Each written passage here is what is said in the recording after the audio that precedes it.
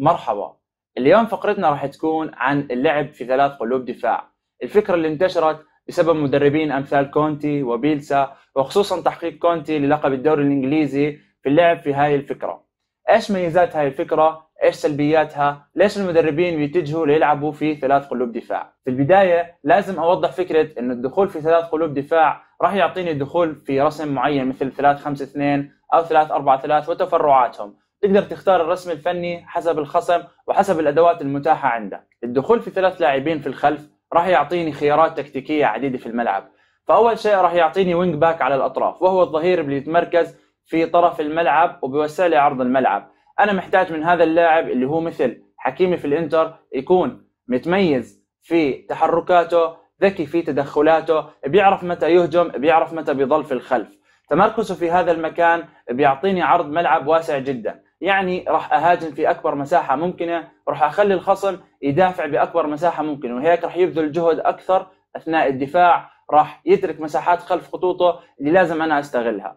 مع تمركز ال wing back في طرف الملعب راح يرتفع معي خط قلب الدفاع محتاج أنا من ثلاث قلوب دفاع كميزات هي الميزات الطبيعية. مدافع قوي في التدخلات الهوائية والأرضية ذكي في تحركاته وتوقيت تدخله على الكرة وما يرتكب أخطاء كثيرة.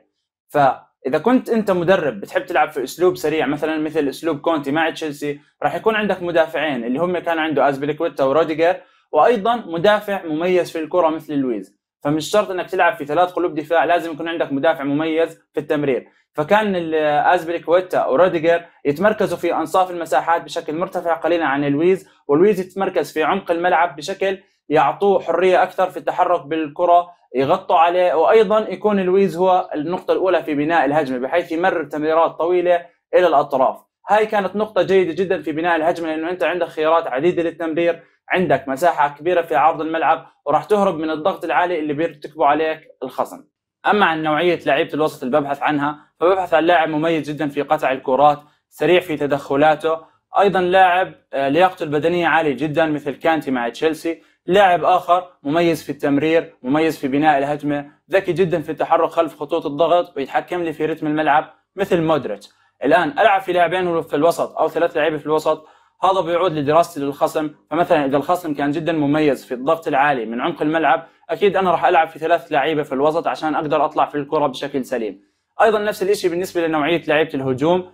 إذا كان مثلا فريقي عندي wing back مميزين في العرضيات وأيضا عندي لاعب مهاجم ثاني مثل نوعية فيرنر بيتحرك بشكل ممتاز خلف آه، خطوط الضغط في الثلث الهجومي بيتحرك بشكل جيد خلف البوكس وبيعمل اسيستات منيحة وسريع في الأطراف بلعب في مهاجمين وبتفوق على الخصم. مثلا إذا كان الخصم يلعب 4 4 2 فراح يكون عنده مدافعين فقط ولعيبة أجنحة فراح يكون عنده أطراف بتساند في الحالة الدفاعية فأنا بلعب في مهاجمين وبصير عندي تفوق عددي في عمق الملعب الهجومي. خلاصة الإيجابيات بأنه هذا الأسلوب يعطيك خيارات كثيرة للتمرير. راح يعطيك انتشار جدا ممتاز في الملعب يعني لعيبة أكثر أمام الكرة مما يعني أنه زوايا رؤية للتمرير متاحة أكثر لحامل الكرة.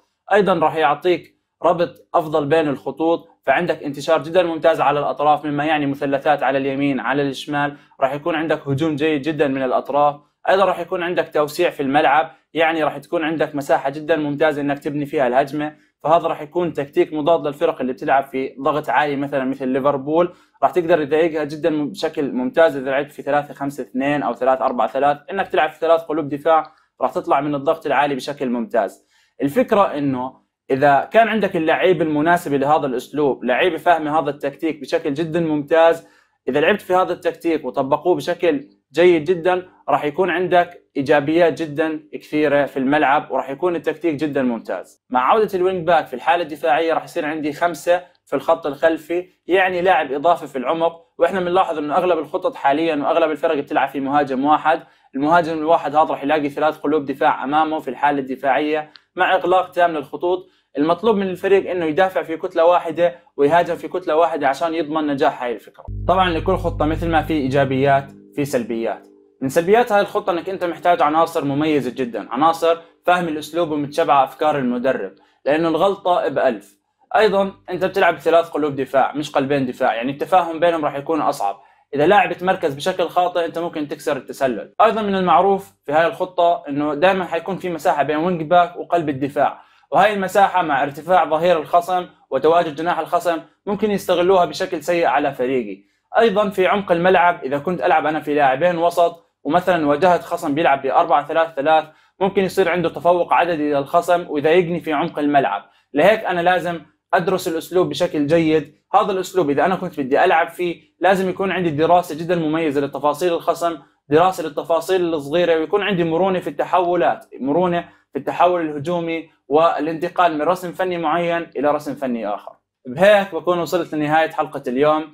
بانتظار آرائكم وكومنتاتكم. إيش رأيكم في الأسلوب اللي حكيت فيه اليوم؟ إيش حابين أحكي فيه لقدام في من الأفكار التكتيكية؟ وإن شاء الله تكونوا بخير وصحة وسلامة. بيس